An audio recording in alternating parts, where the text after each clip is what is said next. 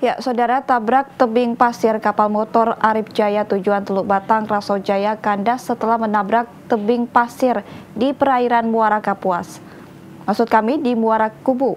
Evakuasi dilakukan tim gabungan dan dipastikan tidak ada korban jiwa dalam kejadian ini.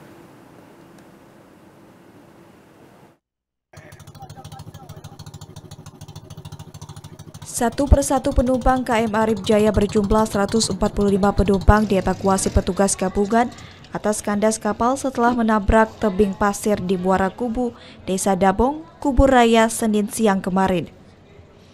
Kejadian ini bermula saat KM Arif Jaya mengangkut penumpang dari arah Teluk Batang ke Tapang, hendak menuju Rasau Jaya, Kubu Raya. Namun saat di perairan Muara Kubu, kapal motor ini tanpa sengaja menabrak gundukan tebing pasir hingga kandas. Atas peristiwa ini, tim gabungan menggunakan speedboat dan sampan kato melakukan evakuasi pada seluruh penumpang setelah air pasang sekitar pukul 15 waktu Indonesia Barat.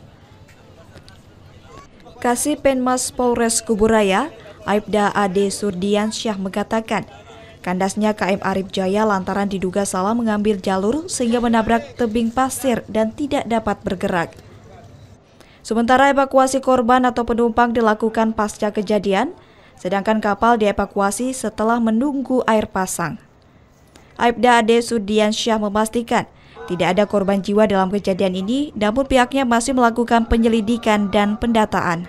Uh, kapal itu kandas disebabkan adanya tumpukan pasir, gundukan pasir di muara uh, kubu tersebut yang kemungkinan motoris dari kapal motor Arif Jaya tidak menguasai medan sehingga haluan kapal masuk di dalam uh, gundukan pasir yang memang itu sudah ada dari lama. Atas kejadian ini, Aibda Ade Surdiansyah menghimbau agar seluruh transportasi sungai agar lebih meningkatkan kewaspadaan, terlebih curah hujan yang tinggi sepekan terakhir di Kalbar.